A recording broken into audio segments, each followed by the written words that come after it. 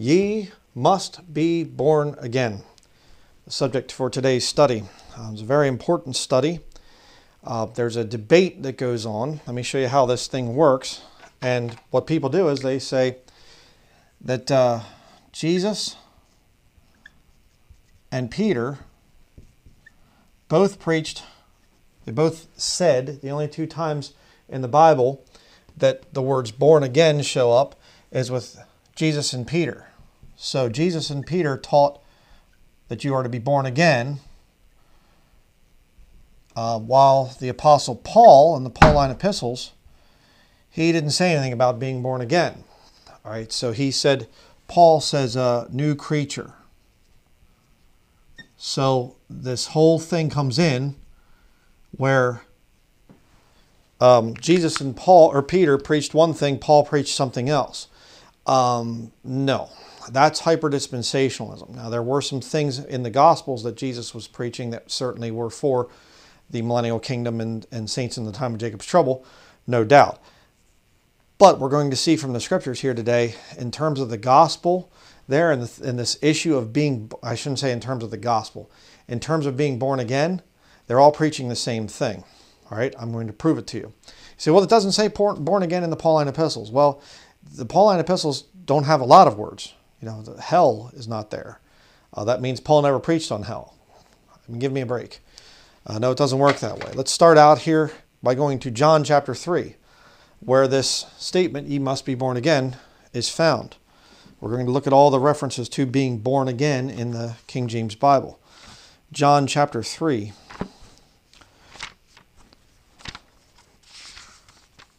We're going to see what this what does it mean to be born again? I'm going to show you some very interesting things in this study. John chapter 3, we'll begin in verse uh, 1. There was a man of the Pharisees named Nicodemus, a ruler of the Jews. The same came to Jesus by night and said unto him, Rabbi, we know that thou art a teacher come from God, for no man can do these miracles that thou doest except God be with him. Jesus answered and said unto him, Verily, verily, I say unto thee, except a man be born again, there's the first reference in the Bible, he cannot see the kingdom of God. Nicodemus saith unto him, How can a man be born when he is old?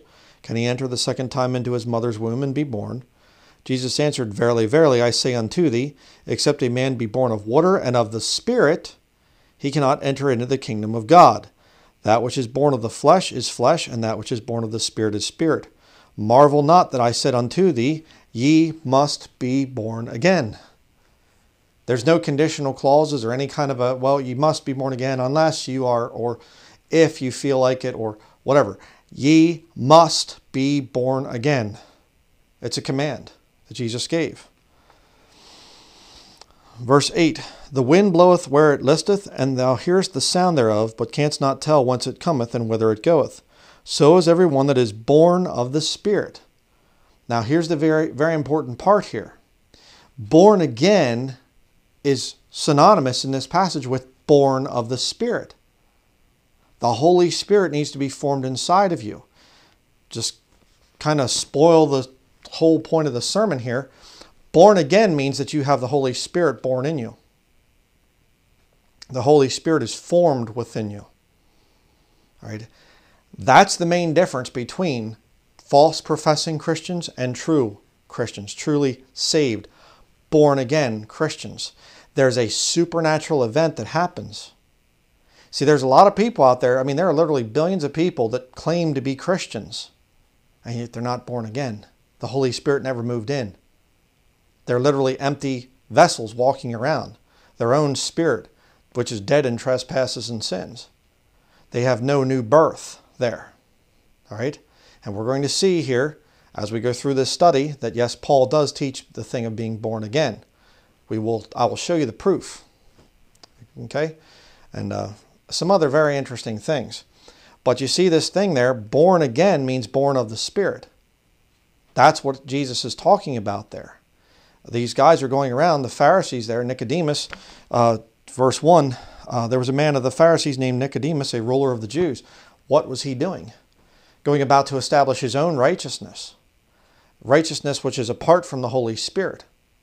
The Pharisees, their number one sin was they created tradition and elevated their traditions above the Word of God. That was their number one sin. That was what the problem with the Pharisees was. The, the Sadducees, they didn't believe the miracles. They didn't believe in the resurrection. They didn't believe in heaven, or the uh, angels, excuse me. They didn't believe a lot of the supernatural things. They'd be the modern day liberal. Pharisees would be the modern day Catholic and a lot of the others out there that elevate their own traditions, like Baptists and whatever else that and Lutherans and all of the you know Protestant denominations and Baptists. Modern day Baptists are just another Protestant denomination. Don't give me this stuff. Well, we're not part of the Protestants. Yes, you are. Yes, you are. You have the same church buildings, the same Sunday best, the same altar, the pulpit, and all the other stuff that's nowhere in the New Testament. You have the same Protestant trappings as all the others. So, independent fundamental Baptists are Protestants. That's all that they are. And they elevate their traditions above the scriptures. Well, I know the Bible doesn't say such and such, but we still do it. You're a Pharisee. You are. And it's not because you're, you know, I'm some liberal that, you know, attacks you because you have standards. No, I'm a conservative Bible believer who attacks the Baptists because they elevate their traditions of men above the scriptures. That's why I attack them, for the same reason Jesus Christ attacked the Pharisees of his day. Pharisees, those who hold their traditions above the scriptures. Sadducees, the liberals that reject you know, they would be called evangelical. They don't want to be called fundamentalist. All right, they reject the supernatural aspects of Scripture, essentially. And then the scribes, of course, would be your new version people that have no authority on the earth better, you know, more than their mind. The new version, you know, well, this could be better translated. I think the Greek word here would be better, you know, more accurately. The, the nuance of the Greek is, you know, unclear in this particular passage. So we, yeah, Pharisees, no higher authority than themselves in their education. All right. Those are the three groups that Jesus hated, hated the groups there, told them that they were going to hell, and they were the ones that killed him. They were the ones that came that rose up and put Jesus Christ to death. The same way that they would do it to this very day. Jesus Christ shows up on the earth and he would be saying the same things. It'd be the same groups of people that would kill him. All right, I represent Jesus Christ. I stand for the Word of God, the King James version. If you've seen my studies on that, if you haven't, you need to watch those. I stand for the holy, perfect, pure Word of God. And the same Pharisees, Sadducees, and scribes attack me to this very day. I'm a servant of Jesus Christ. But Jesus Christ is inside of me. He was formed in me. Okay? That's why I'm born again. Because I'm born of the Spirit. You see. Paul teaches the same thing. But you get into this whole thing of, well, Jesus and Peter taught something that Paul didn't teach. Uh, born again and new creature are two different things. No, they're not. Well, they're spelled differently, brother. Brother. I get that. I understand. But you can go, when you get too far with the dispensational thing, you start to head into hyper dispensationalism, and then you're finished. Okay? The devil, just listen to me. The devil loves to take Christians too far in a right doctrine. There's a lot of things out there like dispensationalism that are completely scriptural, 100%. You cannot rightly divide the word of truth unless you're dispensational. You have to divide the word of truth. It isn't all written to you, okay? Obviously, Old Testament, New Testament's the most simple of the two, you know, or the dispensational divisions that are there. Anybody that says, oh, it's all the same, Genesis to Revelation, uh, walk away or rather run away from them. All right. But what the devil does is he takes dispensationalism and he says, Peter and, John, and Paul, they preached two different gospels. There were two different bodies of Christ in satanic heresy. All right. First century there, there weren't two different groups. Okay, there was a, the Jewish saved and then the Gentile saved of Paul. They're two different groups. That is nonsense. It is a satanic heresy, and I'm going to debunk it today in this study, just to give you the scriptures so that you can do the same. 1 Peter chapter 1, we'll go to the next, the final instance of being born again. And again, if you're if you've been repeating this thing, Christians today are not born again because it doesn't say born again in the Pauline epistles, you need to repent of it. You really need to repent of it. Because I'm going to give you the scriptures today to show that you're wrong and that that system is wrong. And when you're shown that you're wrong from the scriptures, you need to change. 1 Peter chapter 1 verse 23 through 25 being born again, not of corruptible seed, but of incorruptible, by the word of God which liveth and abideth forever. For all flesh is as grass, and all the glory of man is the flower of grass. The grass withereth, and the flower thereof falleth away, but the word of the Lord endureth forever. And this is the word by, which by the gospel is preached unto you. Is there anything in those three verses that doesn't apply to us? You know, you say, well, I'm a, I'm a, uh, of Paul, you know, and whatever else. It's funny because Paul actually rebuked that thing. One was saying, I am of Cephas, I am of Paul, I am of Apollos. And he says, you know, who are, who are we, basically? You know, it's God that saves. Don't say that you're of me or of Peter or whatever else. He rebukes it, and yet you have people that read the Pauline epistles and they just see right past that rebuke. Kind of weird, but uh, what's going on there? You are born again by the Word of God. You're not born again by your own thoughts. Some magical thing comes upon you. You're walking out through the forest or something, and a beam of light comes down from heaven and says, I'm here to save you. Yes, I'll be saved. Okay, thank you. You know. No. You read about the account of Scripture. You put your faith in what this book says. Events that happened nearly 2,000 years ago. That's what you do. Right? It's not that you get saved by mystical things and word of mouth or something. No, it has to tie back to this book right here, this Bible, the King James Bible. 2 Peter chapter 3. Go to 2 Peter chapter 3. say, well, you know, he was preaching to the another group there and you know, and this another satanic movement has come out where they say that Peter and the other apostles, they rejected the apostle Paul. The apostle Paul was a false prophet. They couldn't stand him. They hated him. Um, so you have hyperdispensationalists saying that that uh, Paul was part of a different body. Peter was part of, of a different body. They had the church of the one body and then the, the bride of Christ or something like this. There's different variations depending on who you listen to. I wouldn't recommend listening to any of them. But they come out with all this nutty stuff, and I've dealt with hyperdispensationalists over the years. So don't talk to me about it. I, I know what I'm saying here. But they'll come out with these different things. And you have the one group that says that, you know, uh, Peter and Paul preach different things. And you have another one saying, oh, yes, they preach different things. And in fact, Peter hated Paul and, they call, and condemned him and things like that.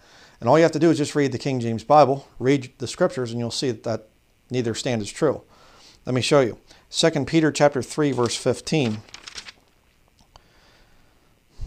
and account that the long suffering of our Lord is salvation, even as our beloved brother Paul, also according to the wisdom given unto him, hath written unto you. Uh, I don't think Peter is part of a different uh, body of Christ. He calls him a beloved brother. All right, they're both part of the same body. I'll show you another scripture on that here in a, in a minute or two. Um, so this teaching that Peter and Paul are, are enemies or that they're teaching different gospels, you can just reject that right away because the Bible doesn't teach it.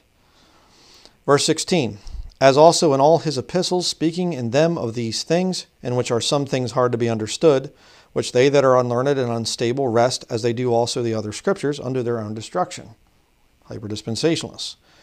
Ye therefore, beloved, seeing ye know these things before, beware lest ye also, being led away with the error of the wicked, Fall from your own steadfastness, but grow in grace and in the knowledge of our Lord and Savior Jesus Christ. To him be glory both now and forever. Amen. Okay? Warning there. Hey, Paul's my brother. He's my beloved brother. Watch out for people to try to pervert and wrest the scriptures that Paul has written about and try to say that we're teaching different things, essentially, is what's going on there.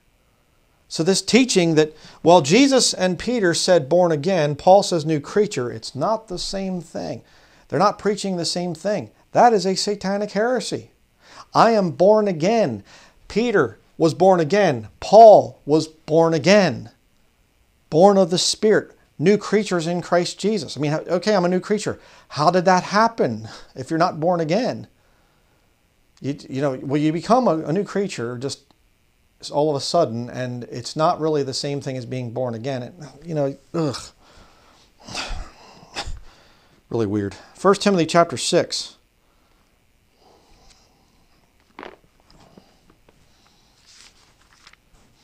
First Timothy chapter 6, verse 3 through 5. If any man teach otherwise and consent not to wholesome words, even the words of our Lord Jesus Christ. Paul writing here. The words of our Lord Jesus Christ. Ye must be born again. Huh.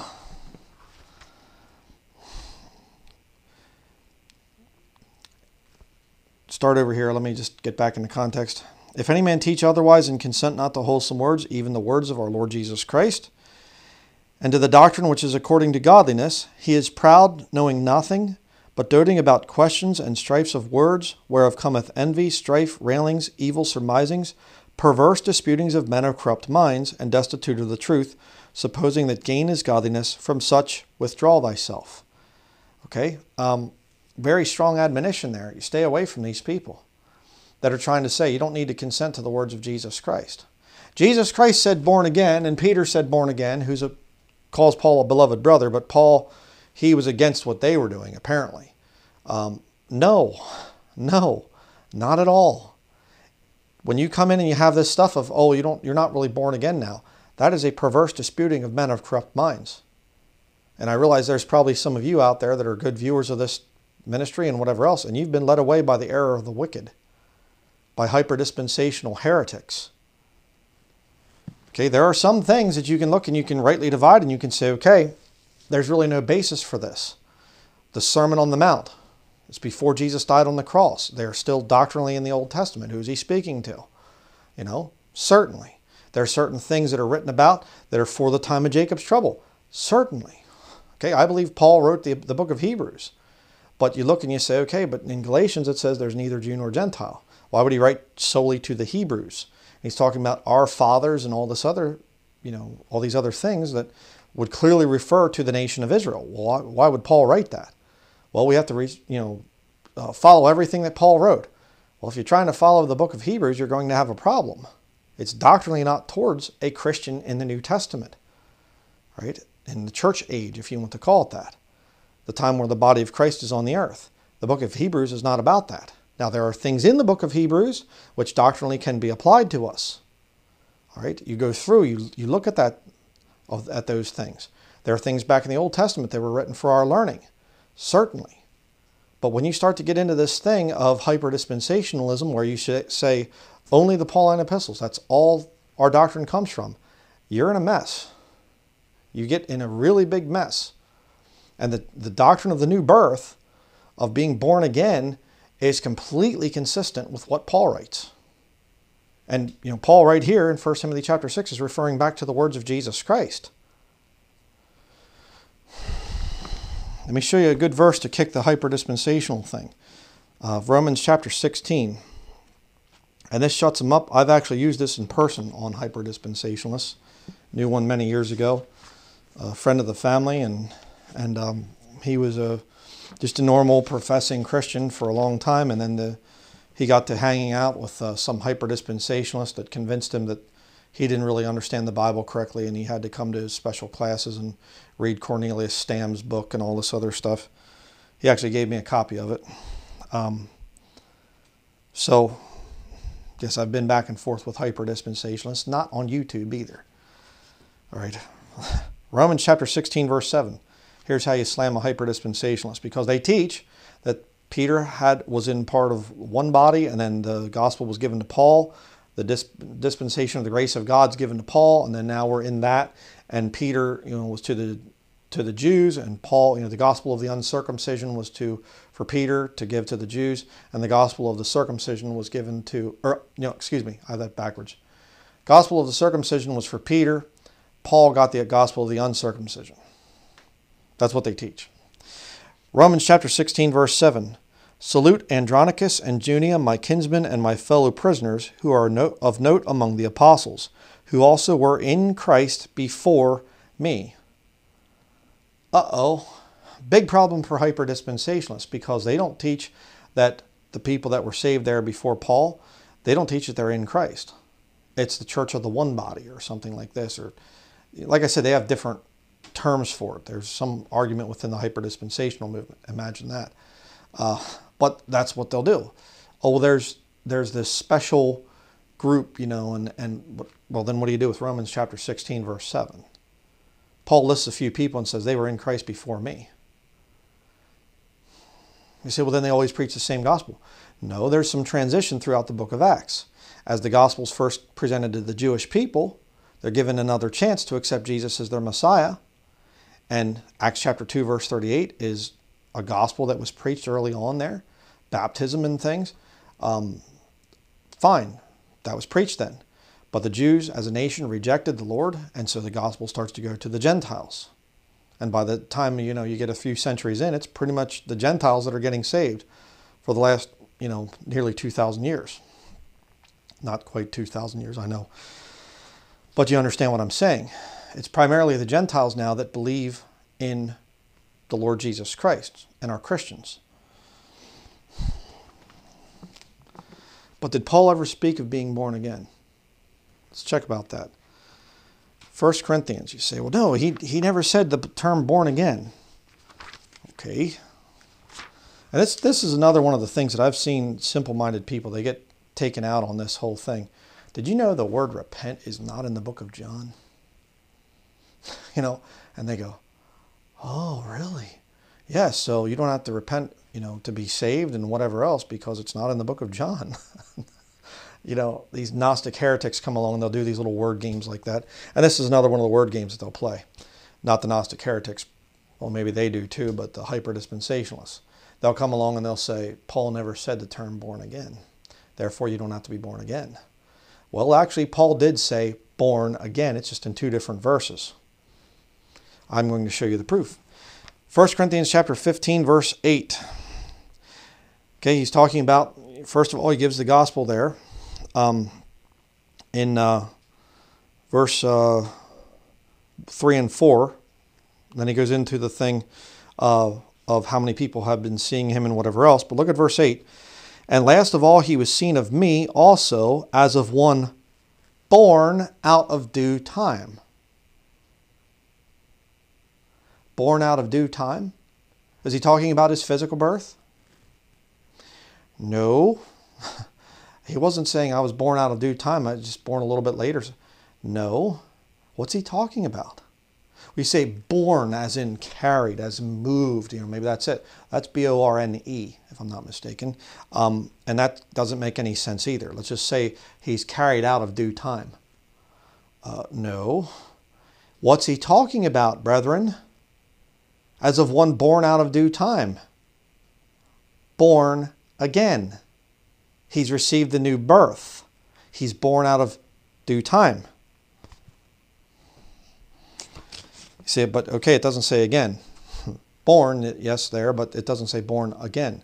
Let's go to the word again, and here we're going to see something very interesting. Go to Galatians. This is where it gets very interesting. And this is something I've struggled with for a long time, and this the Lord revealed this to me while doing this study, and I thought, well, there's the answer I've been looking for. Galatians chapter 4, verse uh, 19, and down to verse 20. My little children, of whom I travail in birth again uh, until Christ be formed in you, I desire to be present with you now and to change my voice, for I stand in doubt of you. So are the words born and again in the Pauline epistles? Well, not side by side, but they're in two different places, and they both mean that they're referring to the new birth. All right? One born out of due time, 1 Corinthians chapter 15, verse 8. Travail in birth again until Christ be formed in you. So, yes, Paul does have those two words, not side by side, I get it, but he's teaching the concept of the thing of the new birth born of the Spirit. Has the Holy Spirit moved in yet? Okay, but here's the interesting thing. Look at verse 19. My little children, of whom I travail in birth again. Travail in birth again? Well, Paul's a man. He's not, obviously, he's not talking about giving birth to a physical child. What's he talking about? He's travailing in birth again. Why? Until Christ be formed in you. I desire to be present with you now and to change my voice, for I stand in doubt of you. Oh boy. Boy, this is a, a really major scripture here that I've been looking at and thinking about for so many years. I can't tell you how many people I have seen, and I think, praise Lord, they got saved. and they're learning. They seem to be learning the right things. And all of a sudden, it's just they're going along and they get they hit some doctrinal issue that's something there and and they just go whoop right back to the world and they completely reject everything that they've learned and they go back and the latter end was worse, worse with them than the beginning. And I say, well, they're a false convert. Oh, no, they're not. They're just carnal. They're, they're not a false convert. You know, and I, I look at that and it bothers me. And I've, I've thought over the years, you know, I mean, I don't want to just go around and say anybody that doesn't wear red and black buffalo plaid, you know, or doesn't have a beard or something as a guy, or that doesn't live off grid, or, you know, by things I get accused of, and just lost, lost, lost, lost, lost. That's what people say about me, that I just judge everybody's salvation, everybody's lost but me. That's not true. That's not true at all. Um, I love to see people genuinely get saved and genuinely be led into the truth and stand by the truth. And the Lord shows them things, and, and I can say, okay, hands off. That brother or sister over there, they're doing fine. Great. I know that I can trust them. They're, they're out there. But then I hear about these people, and I think they got saved watching my videos or other videos, and I've counseled them, and I've been there to answer their questions, and I've, you know, tried to help them, and they go back to the world, and they get messed up in some really wacko doctrines or whatever else, and I think, what's going on there? And I start to travail in birth again. I start to think, did they really get saved? I thought that they were saved. I don't understand why they would get into that. And it starts to bother me. That's what Paul's talking about there. But there's a really interesting thing that he says here. Verse 19 travail in birth again until Christ be formed in you. Huh. You mean to tell me somebody could make a profession of faith like the Galatian believers did and Christ isn't formed in them yet? That's what the text is saying, brethren. They're not born again. I'm a Christian. I go to such First Baptist Church and I you know lead singing and I'm in the choir and I go door to door and whatever. Is, has Christ been formed in you? Are you born of the Spirit? Are you born again? And I've talked to people that profess to be Christians. They'll see my bumper magnets or whatever else, and they'll come up and they'll say, Oh, I, I really enjoy your bumper stickers. And I say, and they'll say, I'm a Christian too, or something. And I say, Oh, are you born again? And they'll give me this look of, uh, uh, you know, well, I go to such and such Baptist church. It's not what I asked. Are you born again? And they'll say, uh, you know, I've seen them, they'll go, yes, yes. You know, I think, what? Uh, is there, has there been a change in your life? Has something happened after you got saved? Can you look back at your past life as a lost man or woman and say, I can't even relate to that person back there anymore. It's like I was a, I'm a different person. That's why I did my testimony video when I say that, you know, Bryan Denlinger passed away. I think it was when I was about 26 years old. And I have a hard time remembering that time period and what I used to do and what I used to think because it was literally a thing of, okay, I died at that time and I was buried. That old man's gone. I don't even think about that old guy anymore in terms of just uh, what. How did I used to do this or that? He's dead. He's gone. He's buried. I'm a new creature in Christ Jesus now. I'm born again. new creature because I'm born again. Let me say it that way. But a lot of these people, they've never experienced a new birth. Gnostic, Gnosticism, where you envision things, you imagine in your mind. I can imagine Jesus dying on the cross. All right, I'm sorry about the little technical difficulty. My uh, battery system died here, off grid, trying to do this study. Um, but getting back to what I was saying, this thing of people that claim that they're saved, they claim that they're Christians, but this Gnostic thing is how they got saved. They hear the wonderful sermon, the music's playing just right, they're caught up in the emotion of the moment, and they make an intellectual decision up here. I believe, and I don't. They don't. I mean, these people literally teach you don't even have to call upon the name of the Lord to be saved, even though the Bible plainly says so. Um, Romans chapter ten and elsewhere, the people are calling upon the Lord to be saved, and you don't even have to pray. You don't even have to ask God, and then there doesn't have to be any supernatural change in your life. It's Gnosticism. You are imagining things. You're imagining, I am saved because I declare I'm saved. I believe that I'm saved. It's all up here in your head. Uh, that's a problem. Okay? That's not true biblical salvation. You must be born again. Period. Okay? But what about this thing of Christ being formed in you? Let's go to Galatians uh, chapter 2.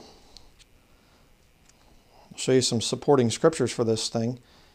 Um, and again, I've seen this thing where there are people that make a profession of faith and Christ isn't formed in them because there's no spirit holy spirit connection there. Galatians chapter 2 verse 20 i am crucified with christ. The old man dies in other words. Nevertheless i live yet not i. The old man doesn't continue to live. But look at this. But christ liveth in me christ liveth in me christ is formed in me that's the new birth, brethren. The new birth isn't some kind of a thing of, hey, I'm going to declare I'm born again now because I can follow a bunch of standards of a certain system. Or no, the Spirit of God, the Lord Jesus Christ, and the Bible actually teaches all three parts of the Godhead are in a Christian, by the way. Uh, that's a whole other video I've done before. But the Spirit of God moves into your body. So now my interest, interests change. Not because, well, I read in the scriptures and I'll conform to such and such confession of faith. No, something changed within me. That's why now I detest certain types of music. My speech is cleaned up from the way that it used to be. I want to conform to this book right here because I'm born again. You see, it's not wrong to use that term. Christ liveth in me, and the life which I now live in the flesh, I live by the faith of the Son of God, who loved me and gave himself for me. The life that I'm now living is for the Lord. Why? Because his spirit is within me. Christ has been formed in me. All right? I'll give you another verse to think about here. 1 Peter chapter 3.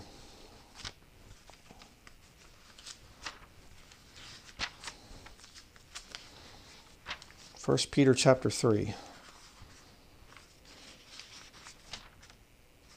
Um, 1 Peter chapter 3, verse 3 and 4.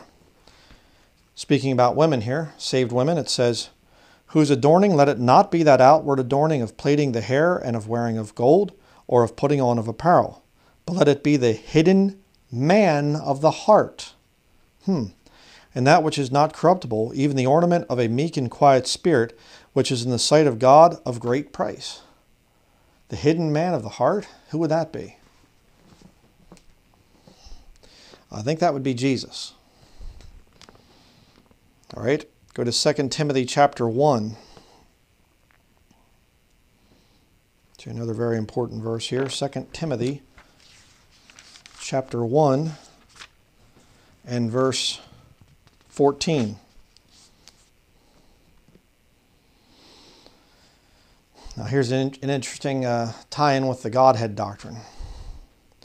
First or Second Timothy chapter one verse fourteen says, "That good thing which was committed unto thee, keep by the Holy Ghost, which dwelleth in us." I thought it said Christ dwelleth in us, um, but now it says the Holy Ghost dwelleth in us. How could that be? Uh, because it's the same God. It's one person. It's one being. It's not three separate persons. All right? But again, until Christ be formed in you. What's he talking about? Paul is questioning the salvation of the believers in Galatia, and he's saying, I'm travailing in birth again. Why? Because I don't think you're born again. I don't think you're born of the Spirit. I, have to just wait and see until Christ be formed in you. And you know, this is the, the toughest part of ministry is watching people and having to decide, you know, are they just, is it they, they've gotten messed up a little bit here? Is there chastening as a result of them getting messed up? Are they an infiltrator? Are they fakes? Are they frauds? Is it real? But they're just, you know, getting into things. They got led away and they, are they going to come back? Or, you know, it's very difficult. And that's why I believe that as a Christian, you should be just as radical, radical as you can. And I know I've talked to people too, by the way, and I say, you know, when did you get saved? Well, I prayed back there and then I messed up a bunch of times and whatever, and I kind of rededicated my life to the Lord, and that's really when things started to change. What if the initial prayer was you calling upon the Lord, and the Lord's looking and He's saying, okay, I'm going to start to slowly form Christ in you? And all those years later, when you're done messing around with the whatever, and you truly come to the point where you're broken, you say, okay, I'm done with all the sin and all the self righteousness and everything else. I believe that Jesus died for me, but now I really understand why I need that. I really understand that I'm not a good person. Maybe then at that point in time is when Christ is formed in that person. And until then, they've been faking it. And don't tell me people can't fake Christianity. All right, that's another one that amazes me. Oh, nobody could fake being a Christian. Oh, please. You are so inexperienced if you say that. I mean, I've had atheists, and they'll literally mockingly, oh, I believe Jesus died for my sins, oh, and they'll laugh about it. They'll do it mockingly, but they confess Jesus openly before men. But they did it in a mocking way. And look at all the people out there that have made professions of faith. They say that they believe the gospel and they don't live at all according to the scriptures. All right? Christ must be formed in somebody. And if you're seeing that, you see somebody that you talk to about the Lord and they've acted like that they got saved and they've, you know, been changing their life and all of a sudden they go back to the world, you start to travail in birth again. Why? Because they're not born again. That's why. Christ hasn't been formed in them yet. Once the Holy Spirit's there, you still will sin, you still will get messed up, but there are some things you don't change. And if those things are not there, well, that's a problem. Um, let's go to 1 Corinthians chapter 6. 1 Corinthians chapter 6, verse 15 through 20. The Bible says here, Know ye not that your bodies are the members of Christ?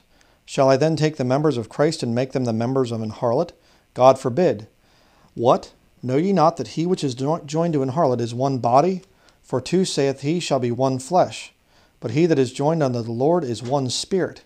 Flee fornication. Every sin that a man doeth is without the body, but he that committeth fornication sinneth against his own body. What? Know ye not that your body is the temple of the Holy Ghost, which is in you, which ye have of God, and ye are not your own? Can you say that as a Gnostic gospel professing Christian? No, you can't. You can't say I'm owned by God. There's no physical spiritual connection to God. There isn't anything there. It's all up just here in your mind. For ye are bought with a price, therefore glorify God in your body and in your spirit, which are God's. Huh. Born of the Spirit? Born again? Your body belongs to God, but so does your spirit. Why? Because Christ has been formed in you. The Holy Ghost dwelleth in us. You're born again, born of the Spirit. Do you have the initial evidence of the baptism of the Holy Ghost? Yes, I do. That's why I believe the truth. That's not speaking in tongues, believe you me. That was a sign gift given to convert the Jews, and uh, there's there's a gift of tongues in terms of people can learn languages, but that's why you also have the thing of discerning of or not discerning, but uh, interpretation of tongues. Uh, you don't need that when it's a Holy Ghost sign gift for people.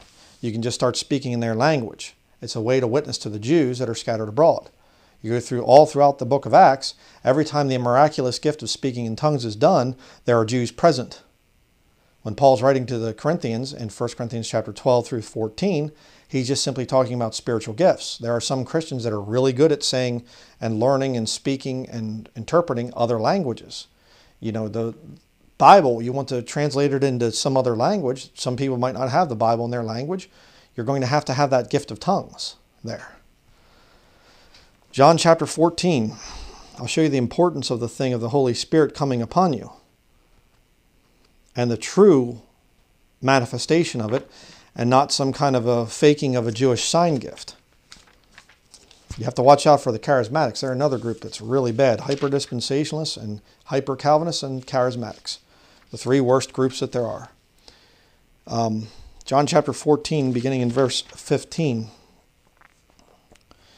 If ye love me, keep my commandments, and I will pray the Father, and he shall give you another comforter, that he may abide with you forever.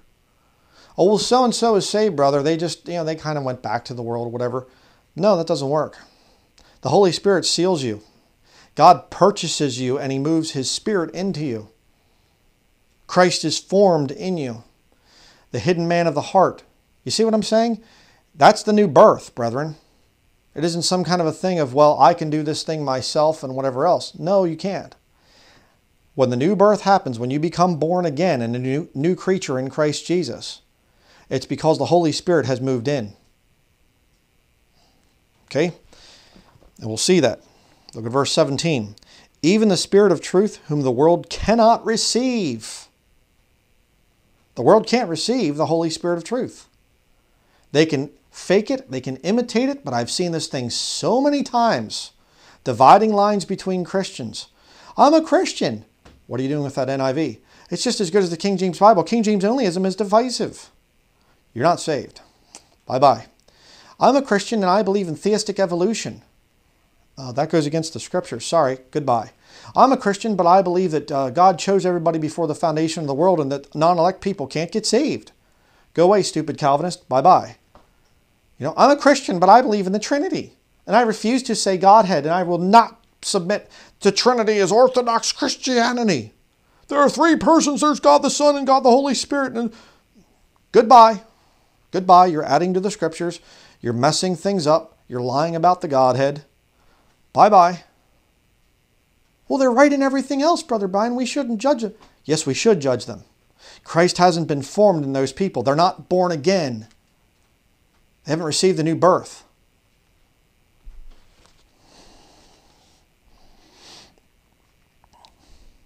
Verse 17. Start over here. Even the Spirit of truth, whom the world cannot receive, because it seeth him not, neither knoweth him. But ye know him, for he dwelleth with you and shall be in you. He's referring to himself. How do you know? Look at verse 18. I will not leave you comfortless. I will come to you. I will come to you. Verse 19 Yet a little while, and the world seeth me no more. But ye see me, because I live, ye shall live also. At that day ye shall know that I am in my Father, and ye in me, and I in you. We have fellowship with the Lord. And it isn't just, you know, well, with the Holy Spirit, yes, but Jesus and the Father, they're up there in heaven, you know, um, playing catch the ball or something. I don't know what they'd be playing. Father and Son are two different persons after all. Two different gods, God the Father, God the Son. Oh, but they're the same God. They're just two different titles. They're not the same, but they are the same. Trinitarianism, bunch of nonsense. When you know God, you know all three parts of the Godhead. Okay? It's that simple. He that hath my commandments and keepeth them, he it is that loveth me, and he that loveth me shall be loved of my Father, and I will love him, and will manifest myself to him. You'll be born again, born of the Spirit. Christ is formed in you. That's what's going on. Judas saith unto him, not Iscariot, Lord, how is it that thou wilt manifest thyself unto us, and not unto the world? I mean, why would Judas not, you know, not Iscariot? Why would he say that? Shouldn't everybody be given the wonderful Christian life experience and whatever else? No, they shouldn't. How are you going to manifest yourself to us and not to the other lost people out there? Verse 23 Jesus answered and said unto him, If a man love me, he will keep my words. And my Father will love him, and we will come unto him and make our abode with him. Our abode? What's an abode? Where you live? The Lord's going to live inside of you, be formed in you, be born of the Spirit? Yes.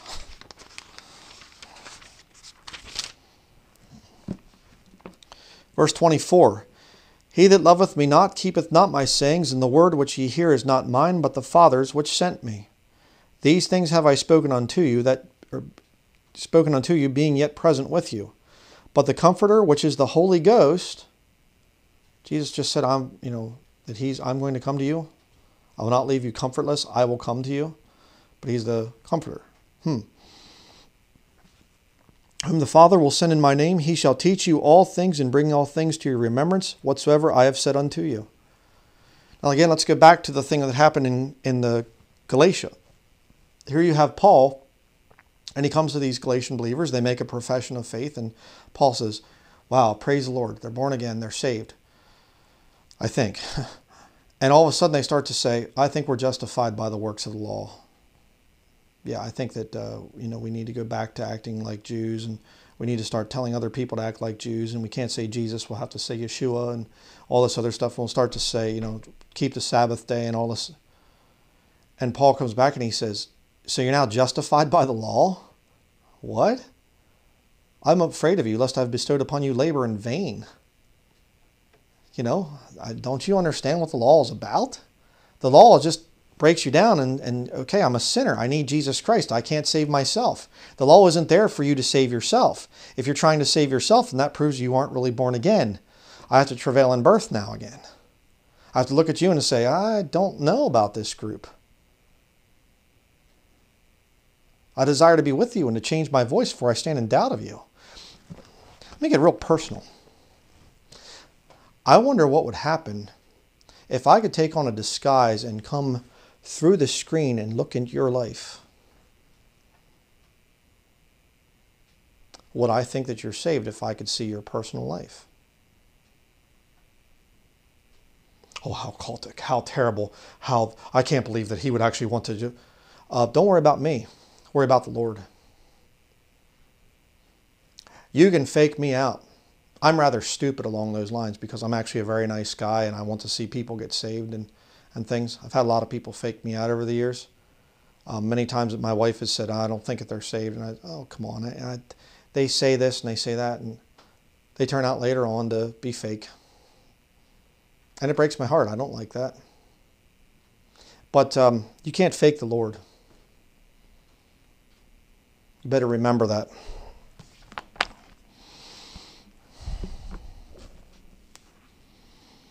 Verse 27 Peace I leave with you, my peace I give unto you, not as the world giveth, give I unto you.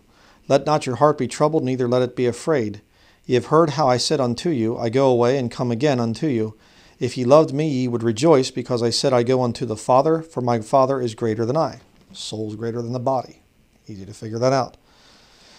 And now I have told you before it come to pass, that when it is come to pass, ye might believe. Hereafter I will not talk much with you, for the prince of this world cometh, and hath nothing in me. But that the world may know that I love the Father, and as the Father gave me commandment, even so I do. Arise, let us go hence. All right, there's spiritual fellowship that has to be there if you're genuinely born again. If you are genuinely saved, there's spiritual fellowship. Say, it's, well, I don't really see it there. I don't really know for sure if I have that. I can't really say for sure I'm born again. Well, that's a problem. That's a big problem. So, uh, Galatians 4:19, we were there earlier. Let's go back again. Need to look at that thing here. Just show you another interesting type of a born again Christian. This is a really interesting one. Galatians chapter 4 and verse 19. My little children, of whom I travail in birth again until Christ be formed in you. Question um, Was there anyone else in the Bible who had Christ formed in them before he died on the cross? You say, well, the only one that would have been would have been uh, the Virgin Mary. Mm-hmm. You're correct about that. You say, uh, okay, what's the point? I don't understand. Well, Christ is supposed to be formed in us. So, in a sense, in a weird sort of way, the Virgin Mary is a type of a Christian. So, wait a second. Did he just say that? Hey, honey, you have to come here. I think Denlinger's finally lost his mind. You know, I think he's finally going crazy. He just said that Christians are a type of the Virgin Mary. We're a bunch of little Virgin Marys walking around. Yeah, he did just say that, didn't he? Yes, he did. okay? You say that's crazy. That's weird.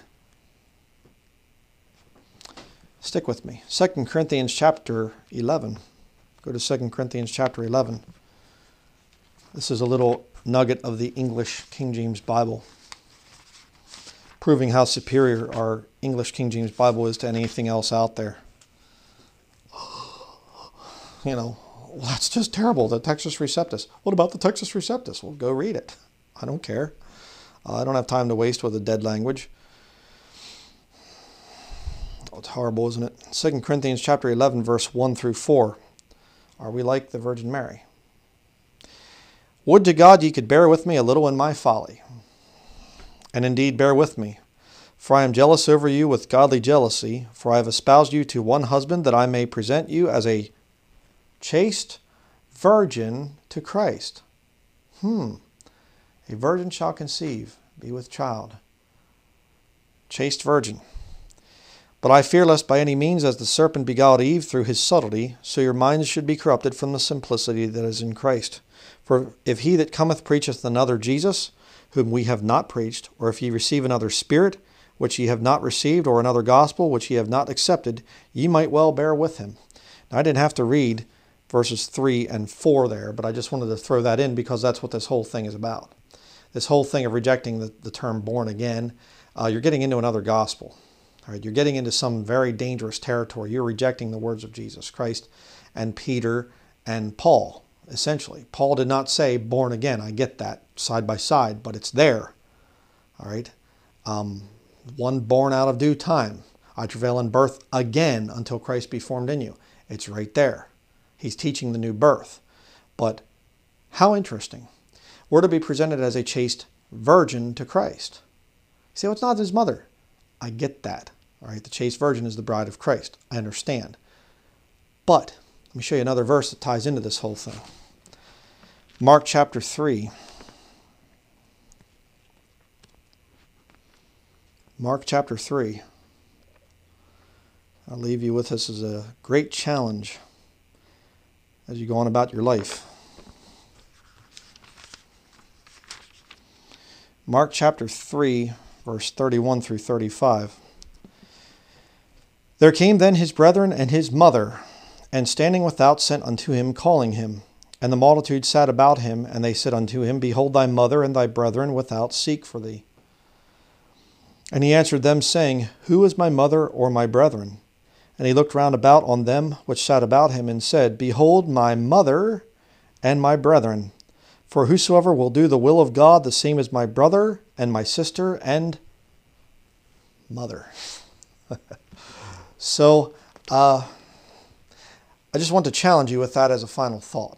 Now, I'm not going to teach that, you know, we are all become, you know, we'll be all the Virgin Mary when we get to heaven or something. But uh, that's not what I'm teaching, right? But in type, it's there. Christ was formed inside the Virgin Mary. Here's where the challenge comes in. How do you think Mary conducted her life while she was with child? While she could see her stomach getting bigger, as a woman does when they're with child. How do you think that was? At first, you're just a little bit there and you think, oh, it's okay, I can see a little tiny bit of a thing of being with child here. But as the stomach gets bigger and all of a sudden you put your hand down there and you feel a little kick, a little movement. And the mother starts to feel that heartbeat and she starts to feel that baby growing in her womb. Do you think Mary was careful? The chaste virgin that Mary was, do you think that she was even more chaste in her conversation? I think so. I think when you'd be walking around carrying a baby that's going to be, that is God, a body hast thou prepared for me, the Bible says. God in the womb of Mary, and she's walking around and she's thinking about that, and she's thinking, I don't want the wrong kind of music around my baby. I don't want the wrong kind of people around my baby. Watch your language. There's a baby forming in here, and the baby is God. How long was he in there? Nine months? But what about when you're a Christian and Christ is formed in you? Now you carry him around for your whole life. Hey, you know what?